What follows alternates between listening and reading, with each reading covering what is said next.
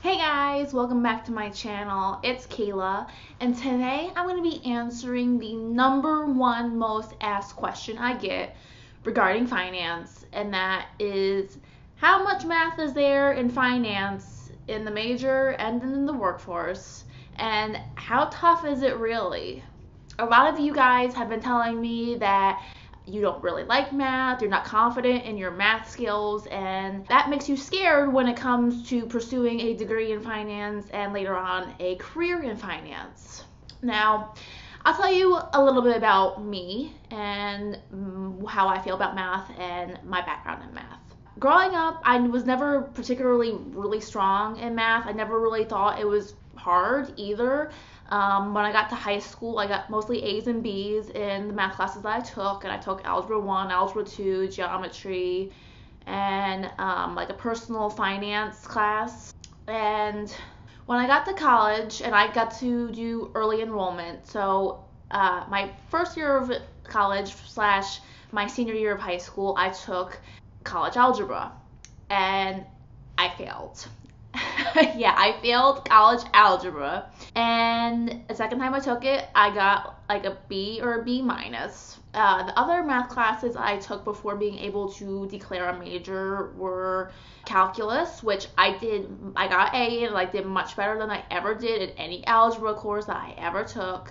And statistics I got A also, but I wasn't like in love with statistics. I never really had these thoughts in my mind like, I'm not good at math, so I'm not going to take this major. But it is good that you are asking yourself right now, uh, how much math am I really going to have to deal with in the future?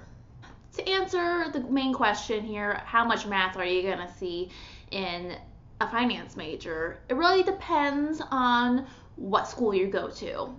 And and it's not even as simple as are you going to an Ivy League or are you not going to an Ivy League? There are programs of Ivy League and non Ivy League that really pride themselves on being math heavy finance programs. And then there's uh, Ivy League finance programs that are not math heavy at all and they really pride themselves on you know their students getting very high GPAs and getting very coveted jobs. So before you go to college and you know you want to do finance, make sure you do background research on the individual university's finance program. So Google it, reach out to past alumni of that finance program and ask how much how hard was your finance program? Was there a lot of math involved? Was it a math heavy finance program?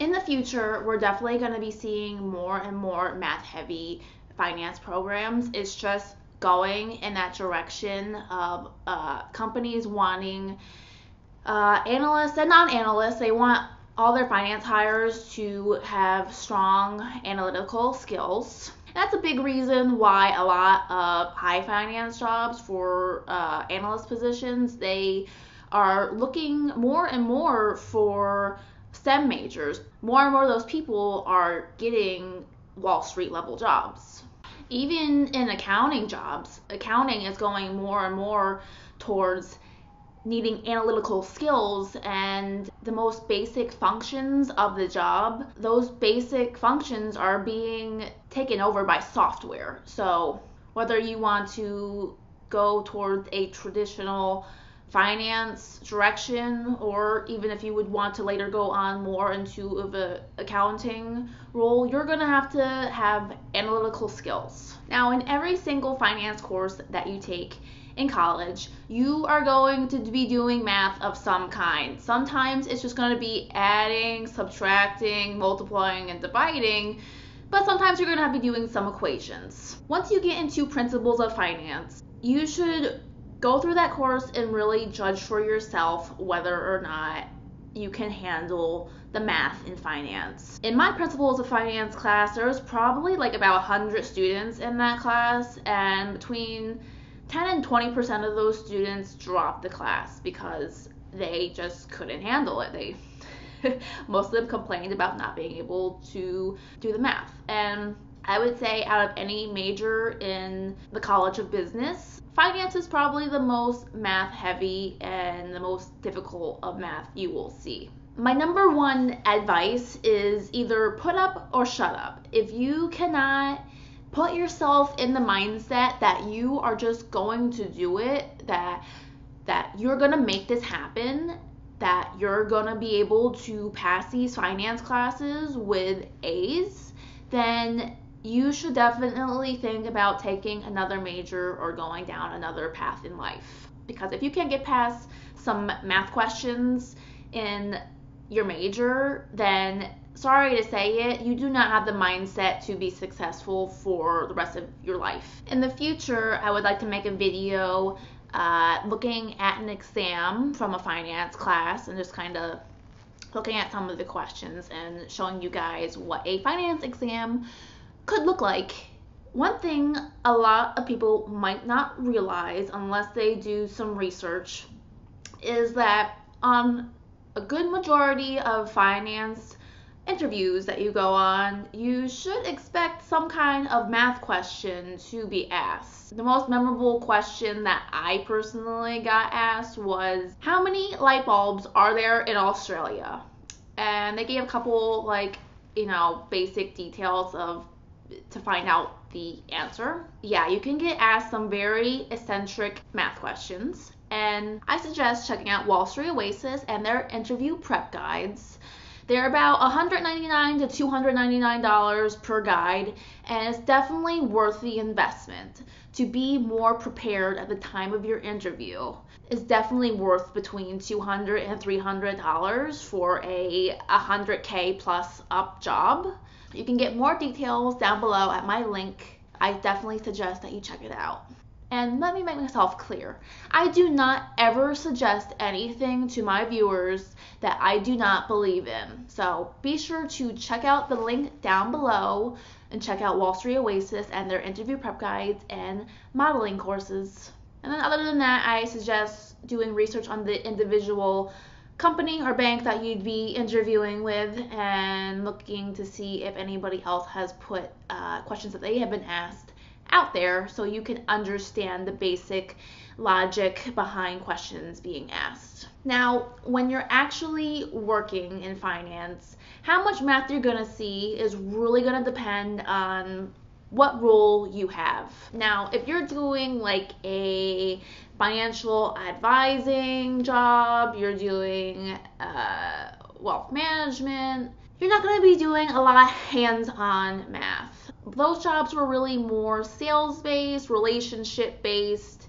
So it's really good for an extroverted person who doesn't want to do a lot of math. If you're more in high finance like investment banking, private equity, hedge funds, venture capital. The math you're going to see there is a little bit more heavy, but more than anything, your financial modeling skills are going to have to be on point. That's the most important thing. And of course, math is involved with financial modeling, but where the most math is seen in a finance role is if you're a quant slash financial engineer you're doing math all day, every day. So if you're somebody who's been asking me, Kaila, how much math are we going to see? I really like math. I want to be in more of an introverted role. I don't mind doing math. I want to do math. Then you should definitely pursue being a quant or financial engineer. For all the people out there who think they're interested in taking the CFA in the future, let me put it straightforward with you right now. It is very math intense. Uh, and only about 20%, I think it's even less than that, of the people who start off with attempting to take CFA level one actually pass all three levels of the CFA and become CFA chartered. So, uh, if you're saying you want to be CFA chartered and you have issues with math, I'm telling you right now, you're gonna have a very hard and rough awakening. So, just letting you know. Uh, if you're interested in being CFP, then that's not as math intensive. And for the people that are discouraged and thinking, oh, you know, CFA is so math intense, there's also morals and ethics questions, and there are people out there that have a harder time with moral and ethics questions with questions that involve facts than doing math and you have an advantage over those people. So just try and be positive and say to yourself, you can make the math work. You already have other things working for you. So yeah, guys, make sure your mindset is set right so you can get through your finance classes, so you can get through that math.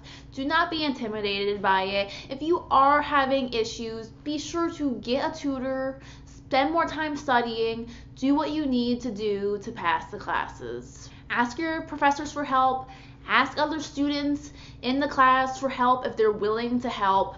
Uh, with that being said, do not badger anybody for help if they don't seem receptive to it. Be sure to just keep in that positive mindset and work hard. Hope this gave you a little insight about how much math you'll see in your major and in the real world. If it helps, be sure to give it a like. If you know anybody who is interested in finance and worried about how much math they're going to see, then be sure to share this video with them. If you have any more questions, be sure to leave them down below. And if you're not already subscribed, be sure to hit that subscribe button. And until next time, I hope you guys have a great day and I'll see you around in another one of my videos. Bye.